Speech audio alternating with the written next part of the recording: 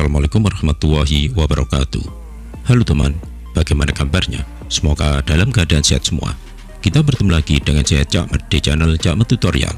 Kali ini Cakmet akan melanjutkan bahas tutorial tentang warna kabel pin soket ECU atau ECM pada sepeda motor Vario Techno 125 helm in BCM FA atau Vario 125 volt agar teman-teman pemula mengerti susunan letak pin kabel soket ECU pada motor tersebut Sebelum lanjut, buat teman-teman yang baru saja menemukan channel ini, silahkan like, subscribe, dan komen. Jika video ini bermanfaat, supaya cepat lebih semangat lagi untuk membagikan video tutorial mengenai skema kelistrikan sepeda motor. Jangan lupa tekan loncengnya agar tidak ketinggalan video Camet selanjutnya. Buat yang sudah subscribe, Camet ucapkan terima kasih. Langsung saja ke tutorialnya. Seperti yang telah Camet terangkan dalam video sebelumnya, bahwa ECM atau Engine Control Module yang biasa disebut dengan ECU atau Engine Control Unit adalah seperangkat alat yang bekerjanya mengontrol sistem BCM FI. Fungsi ECM menerima sinyal dari sensor-sensor dan melanjutkan pengolahan algoritma untuk mengirimkan sinyal perintah mulai dari pasokan bahan bakar, waktu pengepian, dan mematikannya, juga mengontrol sistem starter, sistem pengisian, idling stop system, kecepatan idle, dan sistem BCM FI. Perangkat ini bisa dikatakan sebagai sistem pengatur dan pengontrol dari segala kegiatan yang terjadi pada sebuah kendaraan bermotor. Adapun ECM sendiri mempunyai 33 pin, terdiri dari tiga baris. Tiap baris terdapat 11 pin. Pada kesempatan kali ini, Camat akan melanjutkan warna kabel pada baris ketiga, pin nomor 23 sampai 33. Langsung saja kita kupas warna kabel tiap pin pada ECU tersebut dan ke mana arah kabelnya berhubungan. Video sebelumnya kita sudah pernah bahas tentang pin nomor 1 sampai 22. Untuk mengingatkan kembali warna kabel tersebut, coba kita ingat lagi untuk warna kabelnya agar kita hafal warna kabel ECU atau ECM Vario Techno 125 helm in BCM FI. Pada pin nomor 1 warna kabel kuning strip biru. Pada pin nomor 2 warna kabel coklat strip kuning. Pada pin nomor 3 warna kabel merah muda strip biru. Pada pin nomor 4 kosong. Pada pin nomor 5 warna kabel kuning strip hijau. Pada pin nomor 6 kosong. Pada pin nomor 7 warna kabel merah strip putih. Pada pin nomor 8 warna kabel hitam strip putih. Pada pin nomor 9 warna kabel merah strip coklat. Pada pin nomor 10 warna kabel hijau strip orange. Pada pin nomor 11 warna kabel kuning strip orange. Pada pin nomor 12 warna kabel hijau muda strip merah. Pada pin nomor 13 kosong pada pin nomor 14 warna kabel putih strip biru. Pada pin nomor 15 kosong. Pada pin nomor 16 warna kabel hijau strip putih. Pada pin nomor 17 kosong.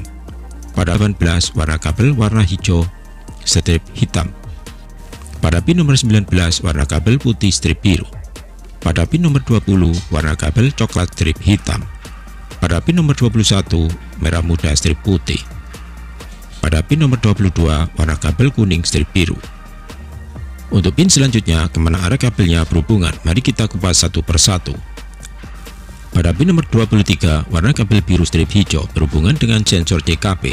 Adapun di sensor CKP terdiri dari 6 terminal, yaitu kabel warna biru strip hijau, kabel warna putih strip merah dari ECM pin 30, kabel warna putih strip hitam dari ECM pin 29, kabel warna putih strip biru dari ECM pin 19, kabel warna coklat strip hitam dari ECM pin 20 kabel warna biru strip kuning ke ECM pin 31 pada pin nomor 24 warna kabel kuning juga berhubungan dengan relay kaki 5 atau relay starter dan pengisian.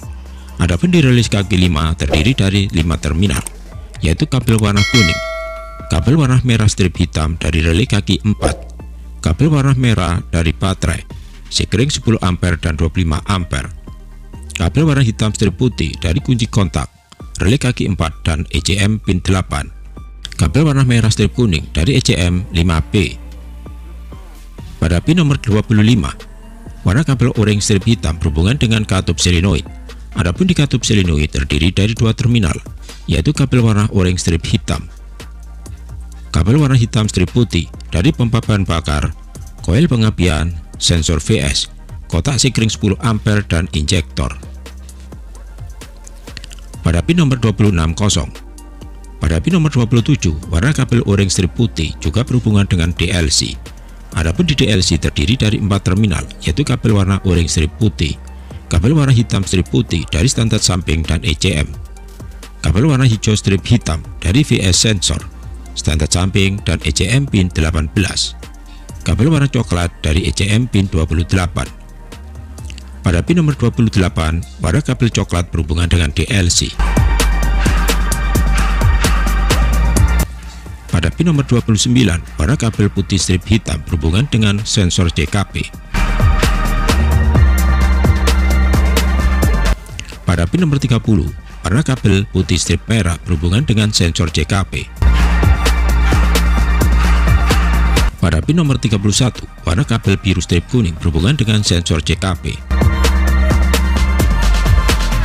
Pada pin nomor 32, warna kabel hitam strip oranye berhubungan dengan sensor O2.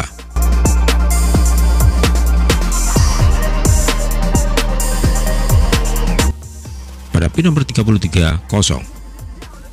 Demikian tutorial kali ini tentang warna kabel ECO atau ECM Vario Techno 125 helm in PCM FI atau Vario 125 UL untuk pin nomor 23 sampai 33. Sedangkan untuk pin regulatornya akan Cak lanjutkan di video tutorial berikutnya. Semoga video ini bisa membantu untuk teman-teman pemula yang ingin otak-atik sepeda motor di sistem kelistrikannya. Semoga bermanfaat. Wassalamualaikum warahmatullahi wabarakatuh.